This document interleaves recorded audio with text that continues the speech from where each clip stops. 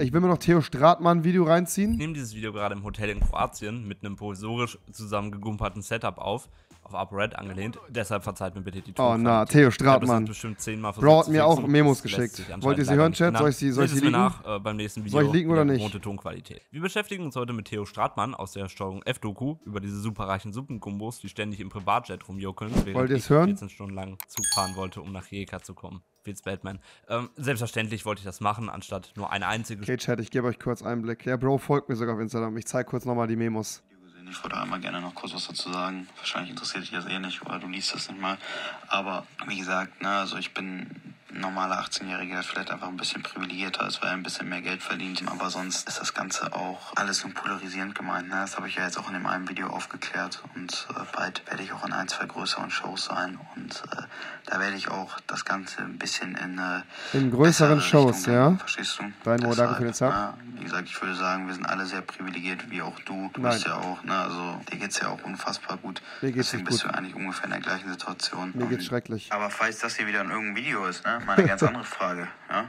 Wozu willst du dein ganzes Geld eigentlich rein, ne? Weil äh, dir geht's ja auch gut. Was machst du damit? Zeigst du das einfach nicht? Oder auf dem Konto wird's ja auch nicht jünger, ne? Du musst das mal ein bisschen mehr Viron machen und deine Kreditkarte ein bisschen Digga, ich kann nicht mehr, Alter. Ich kann nicht mehr. Wo ich mein Geld reinstecke, Chat, ich stecke mein Geld meistens tatsächlich in Immobilien. Wir schauen mal rein. Er wird hier exposed. Ich bin sehr gespannt. Stunde zu fliegen, weil Klima? Und nicht, weil ich mehr Angst vor dem Fliegen habe als Kuchen TV davor, dass Shoyokas Umfeld sich nicht mehr zu ihm Oh. äußert.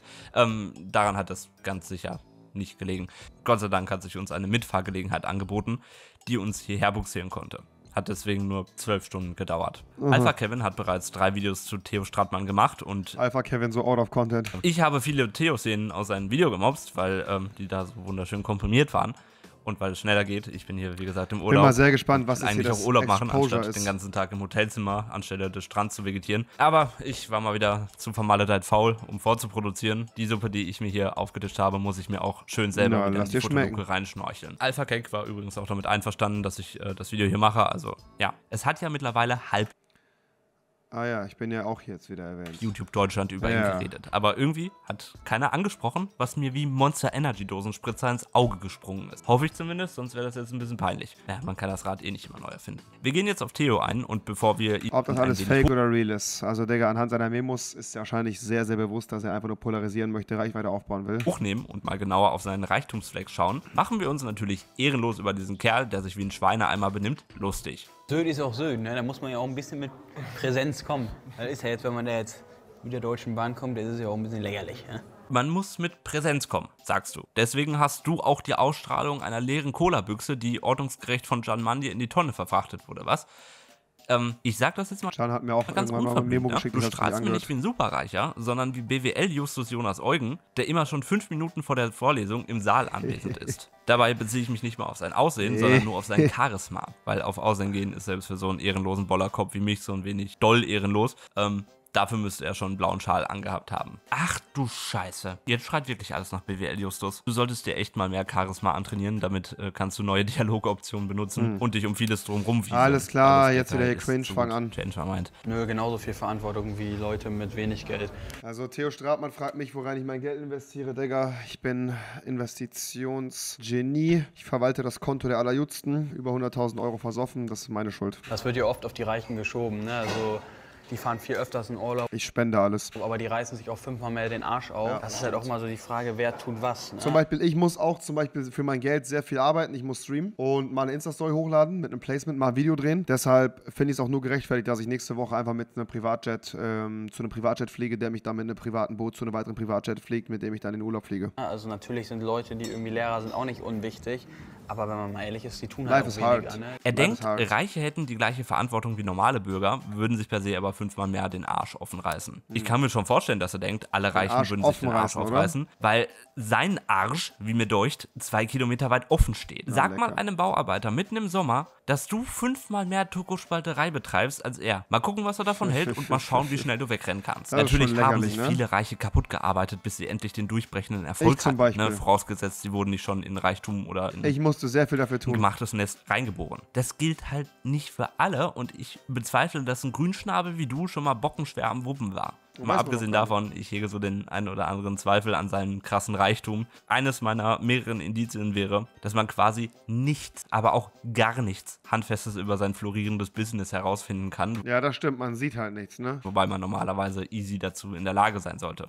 So, es ist nicht schwer, über erfolgreiche Businesses ein bisschen was zu lesen. Ich habe da was gefunden, aber das sah mir weder erfolgreich noch seriös aus. Digga, du bist reich und schaltest drei Werbung. Das macht Twitch, die sind auch reich. Ich kann das nicht ändern. Und? Bist seit vier Jahren äh, insolvent, zockt heimlich Fortnite, wo keine Freunde, wo keine Freunde. Danke, Chat. Das ist halt auch nur ein Anhaltspunkt, dazu aber später mehr. Ich bin der festen Überzeugung, da ist etwas gewaltig im Busch. Sein Gesabbel wird übrigens von ihm selbst höchstpersönlich wenig später zerlegt. Die Reichen gewinnen halt immer. Ne? Das ist halt so, weil man halt einfach mehr Möglichkeiten hat. Mehr Macht, mehr Möglichkeiten. Punkt. Also es stimmt nicht, dass Reiche mehr Verantwortungsmöglichkeiten haben, aber sie gewinnen immer, weil mehr Macht. Merkst du Ja, selber, weiß oder? ich jetzt nicht, ne? Bei so einem Rumgerölpse vergessen Superreiche oder auch vermeintlich Superreiche wie er Dieses Bild. ja, ganz gerne mal, dass der Mittelstand die tragende Säule der Gesellschaft ist. Mhm. 61% der gesamten Nettowertschöpfung, 55% der Arbeitsplätze, 80% der auszubildenden Stellen nur vom Mittelstand gestellt. Auf Social Media sind es auch nicht die großen YouTuber und Streamer, es sind die kleinen bis mittelgroßen Creator durch ihre schiere Masse, die den Laden hier schmeißen und am Laufen halten. Ich bin der Wichtigste hier. Und vor allem die Zuschauer. Ich auch ein bisschen verschwenderisch. Wenn ich das jetzt einmal gegessen habe, dann kann der Rest auch. So, ich brauche mal gar nicht so viel. So einfach so einen kleinen Geschmacksteaser, das reicht mir. Dann kann es auch weg. Wenn man jetzt hier so ein bisschen Kaviar wegschmeißt, das ist ja. Das ist ja eh nur Eier. Wenn ich mal einen wilden Tipp in die Runde schmeißen darf, er mag einfach kein Kaviar, wollte aber, um das Image zu wahren, so ein wenig rumflexen. Ich Kaviar schmeckt doch noch gar nichts, Digga. weiß ehrlich gesagt Aber Justin Nero wird zu arm sein. Der wird es nie gegessen haben. nicht, bei wem das gut ankommen soll, sich teure Lebensmittel zu kaufen und sie dann mit einem arroganten Spruch direkt wegzuschmeißen. Außer bei Golddiggern oder Veganern, die mit ihren Mm, da Paradebeispielen zum. Referieren für Da verschwenderische Dulliböcke gefunden haben. Zu Recht übrigens. Naja gut, Theo hat halt die Hucke voll bekommen, weil es beim gemeinen Pöbel nicht so gut ankommt, wenn man dem gemeinen Mhm, Man Pöbel mit sagt, dass er nur ein Pöbel ist. Pöbel steht in seiner Denke übrigens für ganz normaler Mensch. Was machen wir denn jetzt als bescheidener Superreicher, der es sich bei ziemlich vielen verkackt hat? Den Pöbel vollpöbeln, bis die Balken krachen. Weil Hey meine Lieben, ich wollte einfach mal Danke sagen für das ganze positive Feedback, was ich von euch bekommen habe. Ich habe natürlich auch ein ganz, ganz, ganz, ganz bisschen Kritik bekommen. Oh Mann, Junge, Junge, Junge, Junge, Junge. Hätte ich jetzt nicht mit gerechnet, verstehe ich auch nicht. Der Film zeigt mal einmal mehr, dass finanzielle Verhältnisse zwangsläufig mit Intelligenz äh, erreicht werden muss. Ja, das stimmt. Aber so Habe ich ja auch geschafft. halt. Und darauf will ich halt auch mal gerne eingehen. Ich will auch mal was Gutes für die Umwelt machen, deshalb gebe ich heute mal was zurück und dachte, ich gieße mal meine Blumen, obwohl es schon geregnet hat. Äh, Theo, das sind die Blumen im Stadtpark Oldenburg. Genau, das habe ich ja auch gesagt, dass es ein scheiß Stadtpark ist und nicht irgendwo. Ich, ja. ich, ich will dir die Illusion jetzt nicht nehmen, aber das sind nicht deine Blumen, du Dulli. Den Hinteren auch nicht vergessen. Darauf noch einen Schluck. Der Zappel-Philipp hampelt mit seiner Pulle rum und schüttelt sie, als gäbe es kein Morgen mehr. Das ist kein Champagner dran, habe ich auch schon gesagt, das ist Wasser. Und es bildet sich null Schaum. Auch beim Kippen nicht. Ich habe gerade bei diesem Frame nochmal genau hingeguckt. Ich würde 2000 Euro drauf wetten, Ja. dass das kein Dom Perignon Champagner ist. Also, bisschen peinlich, wenn man flexen will, aber dann sowas abzieht. Habe Jung- ich ja da schon auch im Video gesagt. Champagner ist perlig. Habt ihr da auch nur eine einzige Bubble drin gesehen? So sieht es aus, wenn man Champagner schüttelt. Aber es gibt ja auch noch eine Einschenkszene. Quasi als Antwort auf die Kritik, warum er denn so verschwenderisch mit dem Champagner umgeht. Mit einem Ruinant, ja. Gucken wir mal. Hey, es haben sich mega viele darüber aufgeregt. Ey, Theo, du bist verschwenderisch, du gießt deine Blumen mit Champagner. Und darauf wollte ich einfach mal eine kleine Stufe runterfahren und mir einfach mal ein schönes Gläschen auf den Freitag einschenken. Die Uhr, die er trägt, übrigens auch kein sehr teures Modell. Schönes Na Mensch. Oh, sorry, das war jetzt natürlich äh, schönen Freitag euch. Äh, Theo, das ist A de Ruinard, wenn Genau. du auf Habe ich natürlich direkt erkannt. Billig-Champagner-Seite gehst und auf Billigste zuerst stellst. Ist das der erste, den du da findest? Ja, Es gibt Ja. zwar teureren von dieser Marke, Aber aber, er der nicht. kostet nicht mal 60 Euro. ja. Ähm, der in Anführungszeichen Billig-Champagner aus dem Edeka gegenüber kostet deutlich mehr. Und Digga, eine Flasche Moe Eis kostet trotzdem 71 Euro. Junge, wieso bin ich denn so doof und kaufe dir da im Club für 250? Nächstes Mal nehme ich meine eigene mit, ich Vollidiot. Und mal abgesehen davon kam mir beim Eingießen auch wieder etwas sehr, sehr spanisch vor. Deshalb habe ich mal jemanden angehauen, der in dem Bereich Expertise besitzt und nach seiner Meinung zu den beiden Videoausschnitten, die wir hier der ist zu gelb für einen Ruinar. Das wird auch ein Sekt sein. Das ist ein Sekko oder sowas. im Video gezeigt haben, gefragt. Feuer frei. Ich glaube auf jeden Fall, dass er ein Blender ist. Ich habe selbst sehr lange im Einzelhandel gearbeitet und da hatten wir auch gerade im Sommer immer mal wieder Verköstigungsstände, wo dann auch etwas teurerer Champagner ausgeschenkt wurde. So, und wenn du da mit der Ameise, mit einem Hubwagen oder derlei Dinge längs fuhrst, dann war der Boden am Beben dementsprechend, weil die Teile ja schwer sind. Oder wenn jemand mal gegen den Verköstigungstisch gestoßen ist und das Zeug war sofort am Schäumen. Und so wie er das einschüttet und am Rumzappeln ist. So, ich sage, das ist Sex. So, da siehst du nichts an Sex. Schaum und gar nichts. Das muss halt echt gefaked sein. Wird aber auch gar nicht mal so unwahrscheinlich sein, denn heutzutage kannst du ja Fake-Flaschen Fake Louis Vuitton Tüten kaufen und bestellen im Internet, um den Schein Ja. zu wahren, Ja. so in Form Ja. des Geltungskonsums. Ist ja auch gar nicht mal so unüblich. Ich glaube, da hat auch irgendein Creator mal ein Video zu gemacht. Mhm. Habe ich ja auch schon gesagt. Deswegen, also, der ist ein heftiger Blender. Sein Kanal ist übrigens oben in der Beschreibung oder im angepinnten Kommentar. Er macht auch Meinungscontent wie ich und ist auf jeden Fall ein stabiler Kerl. Lass uns mal seinen Abonnenten-Counter hochtreiben. Ich verfolge die Zahl. Der ist gerade bei 3200 und ich bin gespannt, wie hoch wir den treiben können, ohne vorher so ein großes Brimborium drum zu machen. klar. Eskaliert auf jeden Fall mal drüben. Wir wissen ja, was wir für eine starke Community sind. Wenn wir es schaffen, ihn über 10.000 Abonnenten zu pushen, verstecke ich im nächsten Video einen saftigen Amazon-Gutscheinscode. Je nachdem, wie hoch der Abo-Counter geht, vielleicht auch zwei. Was wir damals bei Carpe Diem geschafft haben, war wirklich insane. Vielleicht schaffen wir hier heute auch ein bisschen was. Aber erstmal ein Video fertig. So, gucken wir mal ganz kurz, wo er steht. 11.500.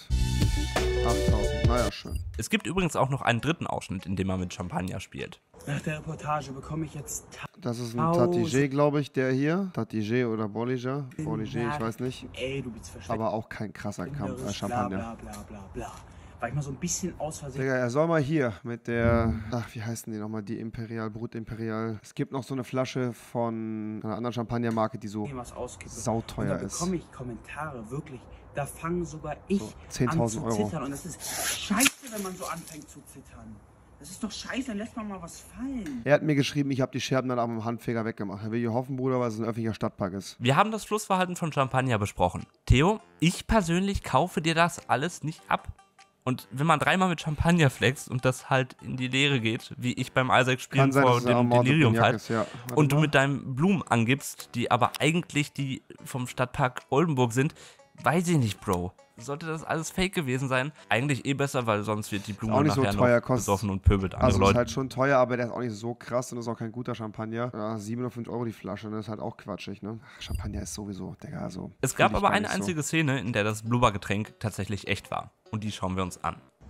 Ja, ihr Pfennigfüchse. Die normale Moe für 50 Euro, na super. Heute habe ich mal meine Spendierhosen an. Der eine Bulle sagt Taschen leer, der andere muss lachen. Weißt du, was ich euch jetzt mal zeige? Das hört ihr mit eurer Freeway Cola nicht wirklich hier. Mal so ein richtig schönes Geräusch. Warte mal. Hört ihr das? So reichen so.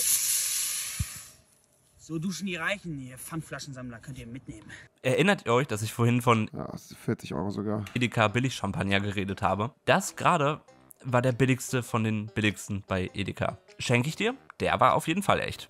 Aber da sah man auch wunderbar, was passiert, wenn man eben mit so einer Pulle rumampelt. Dass der gerade echt war, bestärkt irgendwie so ein bisschen meine Vermutung, dass da bei den anderen rumgefuscht wurde. Weil darum zeigt er nur beim billigsten von den billigen, wie er ihn öffnet. Hier, Und Tatigé zum Beispiel, Chat. Das hier ist ein ähm, sehr teurer Champagner. Oder Louis Röderer, oder wie der heißt. Äh, ich weiß nicht, wie man das ausspricht. Hier, Chat. Das ist ein Champagner, wenn er den jetzt gekippt hätte, die Magnum hier, ne? Die ist, glaube ich, 6 Liter, ähm, die Rosé. Wenn er die jetzt gekillt hätte, ne? Wenn man jetzt ge- ausgekippt hätte, dann würde ich ihm ansatzweise glauben, Digga, dass er ein krasser Hafsler ist. Aber das Ding, ja, 6 Liter, genau, 6 Liter Magnum. Magnum ist immer eine 6 Liter Flasche. Für 3,5. Dann äh, würde ich sagen, Bruder, immer noch sehr, sehr cringe und unangenehm, was du machst. Wölf Clicquot, auch schöner Champagner so. Aber das, mein Lieber, das ist ja wohl, das ist ja wohl dann wirklich der billigste Rotz. Ähm, hier der Louis Röderer ist auch noch äh, guter Champagner. Aber ja, ich bin nicht so der Champagner-Fan. Ich finde Weine geiler. Don der Dom Perignon Vintage ist auch ganz nett. Aber ey, wie gesagt, das, was er da macht, ist halt einfach nur Blenderei und polarisieren wollen. Ist aber gut, weil wir können uns da tatsächlich. Magnum sind immer 3 Liter, Bro. Magnum sind 3 Liter oder 6 Liter, meine ich, oder? Vielleicht bin ich. Vielleicht, äh, ich bin noch nicht so ganz drin, Digga. Ich bin noch nicht so ganz drin. warum verhält sich der extrem teure Dompi halt eher wie Wasser? So beantwortet euch die Frage selber. Ganz nach Ich dem Charakteristischen habe ich was vorzuzeigen, zeige ich es auch. Und mal so komplett am Rande. Der Rage baitet, ja, Wie ja, safe. peinlich ist Genau es bitte das. als. Superreicher mit einem 40 Euro Bier lecker. zu flexen. Zu guter Letzt wurde Theo der Backlash für sein Geflexe zu viel und er macht auf Hauruck angelehnt die Goldmedaille im Rudern.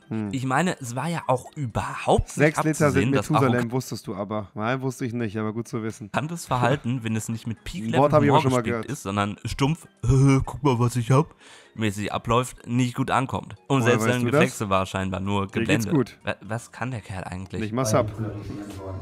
Ich bin auch der Meinung, dass man was beim Klima tun muss. Alles Mögliche. Ich bin keiner, der Politik studiert hat oder da in dem Bereich ganz Der Bro ist einfach 18, will ein paar Follower machen, mehr nicht. Und wir machen es über ihn lustig und es kommt ihm ganz gerecht und gut ist. Mein Gott, Digga, ist okay.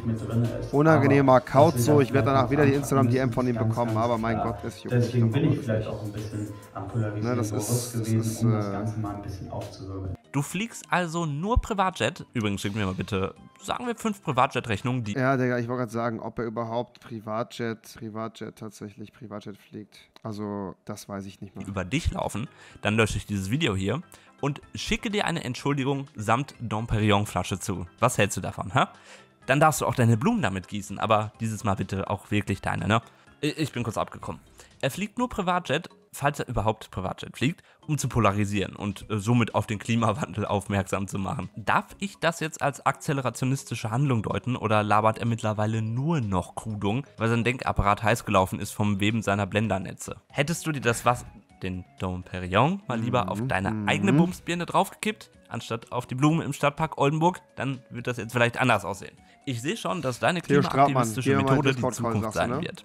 Bald klebt sich Edward mit den schweren Händen Es gibt ja auch noch hier die Möglichkeit, Privatjet-Sharing zu machen. Da kannst du dir ein Ticket für ein Privatjet kaufen und einfach für 6K mitfliegen. nämlich nicht mehr auf dem Asphalt, sondern im nächsten Wenn man selbstgebuchten mal blenden will, geht das auch. Flying for Future oder was? Obacht, er verkündet nämlich jetzt, das Ganze ernsthaft anzugehen, ohne den ganzen Champagner und ohne Humor. Ich äh, frage nochmal ganz gezielt nach. Wo genau war der Champagner und vor allem, wo war der Humor? Und dann kommt mal eine sehr interessante Aussage. Ähm, dazu will ich sagen, das ganze Klimathema, ein Account wie Steuerung F stellt mich natürlich so schlecht dar, wie es geht. Ähm, das darfst du mir jetzt erklären. Hat Steuerung F dich dazu gezwungen, diese Sachen zu sagen und nach der Reportage also- dieses affige Verhalten an den Tag zu legen? Selbst die Aussagen in der Reportage, die man schwer unvorteilhaft aus dem Kontext nehmen kann, weil Ja, die das ohne und auch, auch mit dem richtigen. Kontext Du schreib- auf peinlich sind. Aus dem. Kontext schneiden funktioniert Ne? nur, wenn die Loslösung von diesem die Aussagen dramatisieren oder lächerlicher darstellen würden, Naja. was hier unmöglich der Fall gewesen sein kann. Just Nero, wie immer ein L-Video. gestellt, egal wie Ähm, man sie hinbastelt, unangenehm zahnschädigend, weil cringe. Aber ich würde vorschlagen, Schönes dass Ding, wir dieses Thema jetzt Ja, vorerst komm. nicht machen. Komm, reicht jetzt auch an der Stelle, ist gut geworden.